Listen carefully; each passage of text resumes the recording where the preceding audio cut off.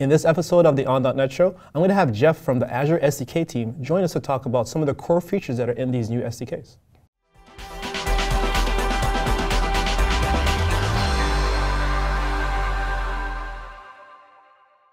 In this episode of the On.NET Show, I'm joined by Jeff from the Azure SDK team, and he's going to talk to us about the Azure Core SDK. So, so Jeff, why don't you tell me, first of all, a little bit about who you are and what exactly it is that you do? Sure. So um, I have been in .NET for a long time. I wrote a bunch of books and videos and things like that. And now I'm a software architect on the Azure SDK team, helping to architect these SDKs so mm -hmm. that mm-hmm. they have a high degree of consistency with within a language and even across languages. Right. And you know, in a previous episode, we had some other folks on, and they talked to us a little bit about you know, why do we have these new SDKs and what are some of the core goals of these? Mm -hmm. And in this particular one, we're going to talk about like the core SDK. So my understanding is that this is um, essentially features, kind of like cross-cutting features yes that span um, you know, across these different libraries for all of these different services that we have and just you know, give us like some common patterns and techniques that we might want to reuse across the board. Yes. Yeah? Yes. Okay. Shall I begin? Uh, so what, uh, in some previous teams that I was in, we noticed that there are some core cloud native fundamental features okay. that you really want every distributed application to have. And when you're using one of our client SDKs, you are building a distributed app because your client is talking to some of the Azure services. Mm. So we created this thing called an HTTP pipeline, which is extensible. And the way that it works, I'll demonstrate with this animated slide. So in most of our SDKs, you'll be creating some kind of client, like a blob client or a container client or a Event Hub client or so on. And on those clients, there's various methods that you call. Those methods ultimately end up creating an HTTP request object. And that's going to go to some transport in .NET. It's HTTP client, but this works in other languages too. And then the HTTP client is going to send the request over to the particular Azure service that you're trying to communicate with, and that's going to send a response, and then we're going to do some processing that and send it back as the result from the method. Well, we want to have some certain behaviors that are specific method agnostic. That is, these behaviors are the same method regardless of which method you're calling. And, and so we've created this thing called a pipeline. And the pipeline, the definition of it is it's an ordered set of policies. And we have a bunch of policies that are pluggable into the pipeline.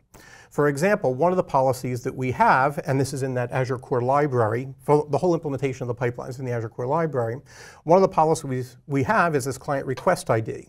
So when the HTTP request object is moving down through the pipeline, this goes and uh, adds a header to the HTTP request with a unique client request ID so you can track the request. And then it would move to another policy in the pipeline, like the authentication one. Now, I know in the previous episode, uh, Adrian and Alex talked about our credentials and our authentication and Azure Identity Library. And in the next episode, Scott's going to present more about that. So he'll talk about that in more detail. But we have lots of different ways of doing authentication and how that affects the HTTP request as it's flowing through the pipeline is uh, impacted by this policy. Then we have a logging policy where we can log that an outgoing request has occurred and what time it occurred, and then we can see the response when it comes back in, so we can see how long it took for the operation. Uh, and then distributed tracing, which I know in the previous episode was also discussed about a lot too, where you can wire in uh, a mechanism here so you can go and send it to Azure Monitor or some other storage system. So the request travels down through all of these policies and then ultimately makes it across the wire. When the service uh, replies, it gives back an HTTP response, and the HTTP response flows backward through the pipeline, going through these policies in reverse order. So it would hit the distributed tracing, so now the distributed tracing knows that this has completed, and then it can go report it. And it can go and hit logging and uh, to log that the result has come in. Some of these policies don't do anything with the response, like authentication or the client request ID, and then the response would eventually make it up to your application code. Now we have a few other policies that we put into the pipeline. One is called a buffer response. This is used for HTTP responses that return a payload uh, that's usually JSON or XML. Unlike blobs, which is binary data, the buffer response policy will read all of the data from the service and load it into memory so that when we get to the top of the pipeline, we can deserialize that into model objects that we then return back to the customer code. Another policy that we have, which is the most complicated of all the policies really, is the retry policy. So if while making a request, something causes a failure, then the retry policy would catch that exception, and then it can loop around and it can actually issue the request again and send the HTTP request message back through the policies that are below retry. So another way of saying it is everything between retry and the transport will execute once per try, and everything between the method call and before retry will execute once per method call. So we have some optimizations there that's, that's happening. Um, also, for this buffer response, when we're reading the data from the service, it's possible that the connection might die.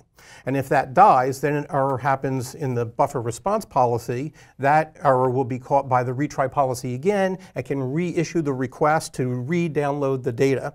So what we're trying to do with this mechanism is make it so that your applications are very reliable and robust to failure, even without you having to do anything as the customer. You just get it for free by using our client classes.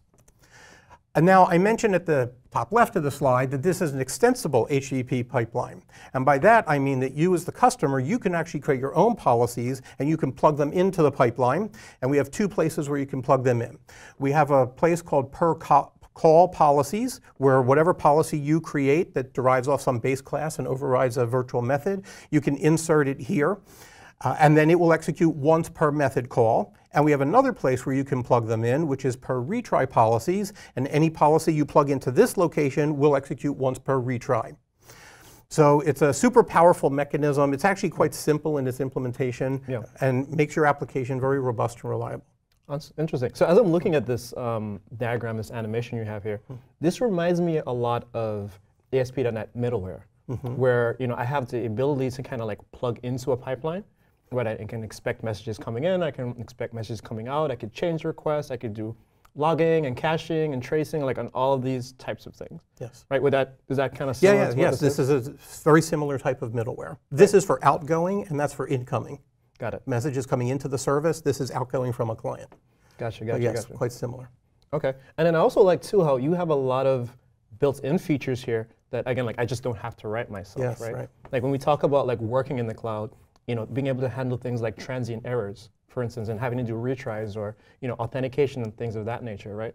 Like I really just want to focus on my business case and, and, and, and whatever code I'm trying to write, and not necessarily some of these other types of concerns, yes. right? So it's kind of good for me that you know, I'm, I'm totally fine with Microsoft like doing that for me instead. Yes, and over the years, various Azure SDKs, some of them have offered some of these features like retries, yep. and some of them have not. But now we provide them for all these SDKs that we're working on, sure. and in a very consistent way with a clean architecture that allows customers to plug into it as well. Okay, awesome. So that, that means that I could create my own custom policy if I wanted to, and plug in somewhere inside of the pipeline. Yes, and in fact, I have a demo where I can show doing that. Sure, let's do that. Okay. So uh, here in Visual Studio, uh, I have some C-sharp code where I can show you how to configure the pipeline uh, and that's just taking the policies that we have and configuring them, but I will also demonstrate what you just asked about, which is inserting a custom policy into it. So first, I want to start down here. Usually where customers begin working with our client libraries is that they will create some kind of client. In this example, I'm creating a blob service client, and I'm passing it in, into it a URI, and I'm passing in some credentials here. These credentials will end up being used by the pipeline at that authentication policy I showed in the slide. Uh, and you can also pass in some pipeline options over here to go and configure the pipeline. Now the options are um, optional, so you don't have to pass them, and a lot of times customers don't, in which case when you new up this client underneath the covers, it is creating a pipeline that's all with default configuration, like default retries and, sure. and so on. Um, but I do want to show here that you can customize that. So here in main, I'm going to new up a blob client options uh, structure, and then I'm going to go and initialize some of its fields. So there's a retry section in there, and I can go and set the max retries to some number. Here I'm setting it to 10, and the maximum delay for each retry, I'm setting this to 3, and there's various other options in here I'd encourage you to explore with them and, and look at them and read the documentation. And then here I'm turning the logging on, because it defaults to off for diagnostics.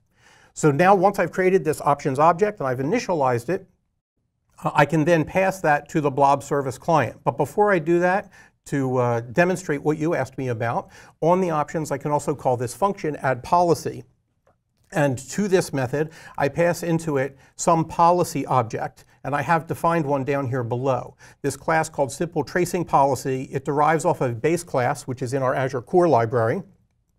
And then I override this virtual method, process async, and this method will be called as your HTTP request goes through the pipeline. You get to execute some code up front. Here I'm just going to call console write line to prove that we made it to here, and you'll see something in the console window. Then I call process next async, that's a method I heard from the base class, and I pass the message down uh, and the pipeline onto the next policy in the pipeline.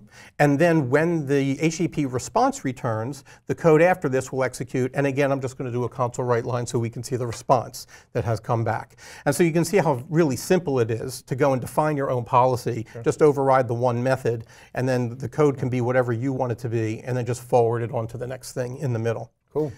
So now, when I call this add policy method, I'm newing up an instance of that class, and then I have to tell the method whether I want this to go in the per call section or the per retry section in the pipeline. Here I'm saying per call, so it'll execute only once per operation as opposed to retry per retry, which would execute once per try. Okay, so let's, let's, let's talk about sure. that part for a little bit. Okay. So again, just repicturing that diagram you showed us a little while ago. Sure. So we know that retry happens at a certain point within that pipeline.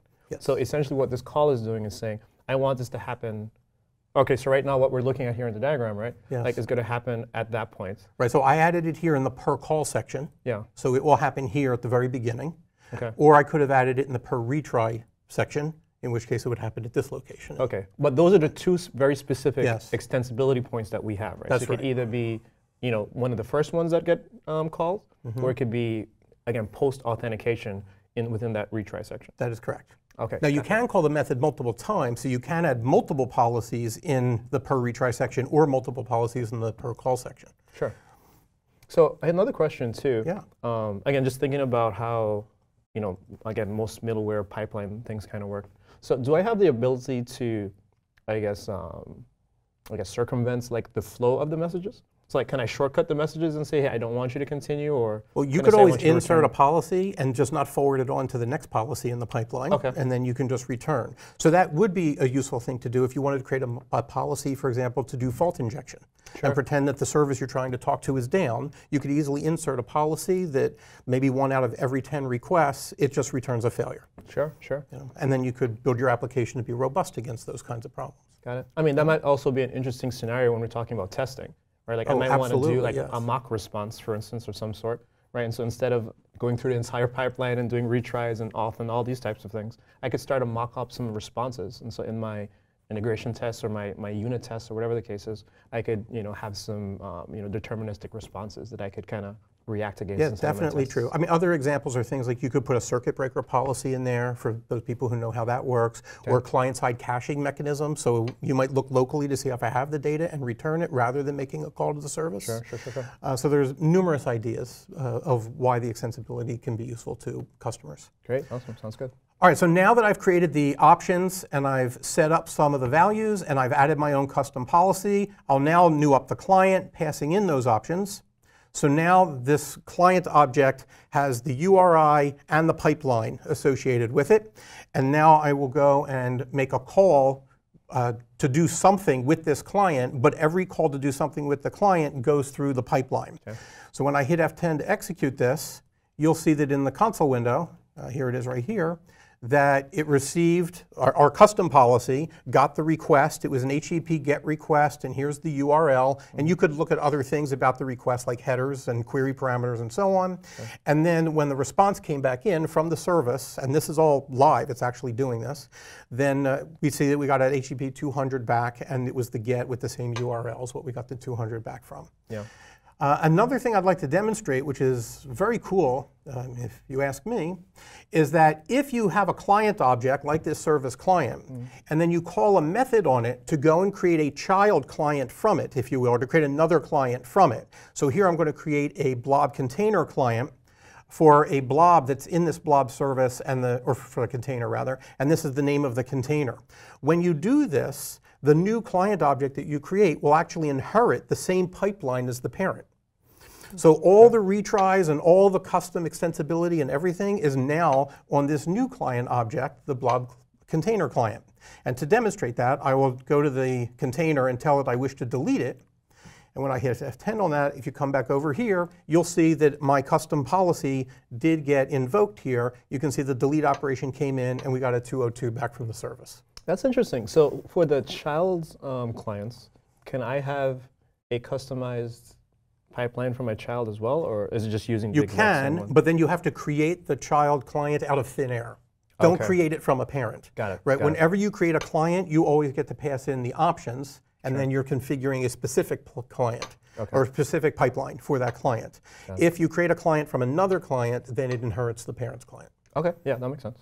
Gotcha. And then you're saying now all of our SDKs, again, like we were saying before, Yeah. behave this way. That's correct. So we're talking about like, um, you know, storage queues or Yes. something else, Key Vault or whatever the case is. The programming pattern is fairly similar, right? Yeah, it would be pretty much. I mean, so this, is an Azure Core, the .NET version of Azure Core Mm-hmm. works identically across all of our SDK or client libraries Okay. for for Azure uh, for .NET for .NET. Okay. Uh, yeah, so um, we hope that people will start to learn some of these concepts, and then you can, you know, mm, uh, once you learned it for one SDK, you can apply that learning to all the others. And even if you switch programming languages, the concepts are still there, and they work in a very similar way, Sure. just idiomatic to that language. You know, um, this makes me think about um, uh, a comment I hear from a lot of our customers, which is, you know, how can I mock out Azure services, right? And so it kind of feels like this SDK is a good step within that direction, Yes, right? Because when you think about it, a lot of our services have no local version. that's true. You know what I mean? Like no local version, no local emulators or whatever. Um, but it sounds like no, this is a good opportunity for either us or the community or some other folks to create some some defaults, mocking mechanisms, right? So that now that we could you know work with our things locally, we could work with it offline, and then eventually when we can reconnect to the internet or you know reconnect to the matrix, right? Like we could have the ability to just use the SDKs the same way without having to change too much. Yeah, code. definitely, that's true. And yeah, the pipeline makes that. I mean, aside from the emulation part, which is complicated, the uh, Yeah. the pipeline makes it easy to maybe redirect to a local IP address rather than the remote one. Okay, awesome. Yes. So I have one last question I've been Sure. dying to ask. you. Go ahead. So I'm looking at this HTTP pipeline, Mm-hmm. and it's just reminiscent of so many other things that I've seen before. Like, so we already have HTTP client, Mm-hmm. right? And they have delegating handlers and you know all these types of things. Why didn't we just use that? Like, why do we need a new pipeline mechanism? So I would say the main reason is that the uh, the delegating handlers are attached to an HTTP client. So if you wanted to modify the options, we would have to create a different HTTP client. Yeah. And the best practices for .NET is that there's one HTTP client for your entire application, and then you're just resharing that uh, connection pool that it has. So that's why we did not use delegating handlers underneath the covers to do this. We built this on top of that. Got it, got it. So you're, you're, So you're it's more ahead and- efficient, really. We're using resources more efficiently. right, so you go ahead and managing that lifetime for us, and that's just one concern that me as a developer, I don't really have to worry about too much. Yes. Okay, cool. That sounds good. All right. So again, just like just like before, just like we always do, I want to make sure that you know anybody that watches this video, we're gonna have some of these code samples that are available. Make sure we direct them to the right GitHub repos or the right um, you know the right blog posts and samples, so that you know everybody could go ahead and check them out. Yes. And again, these these um, these SDKs, these libraries are available today, right? So you can go Yes. on NuGet, you can download them um, for .NET specifically. But if you're looking at any other, Other languages, too, yes. you can do that too. Yes. Awesome. Well, thank you, Jeff. Man, I really appreciate it. I'm glad to help. And thank you all for watching. Um, I hope you try out these, these um, libraries, try out our new SDKs for Azure, and uh, let us know what you think. Leave a comment down below. Um, make sure you share and like this video with your friends, and thank you for watching this episode of On.NET.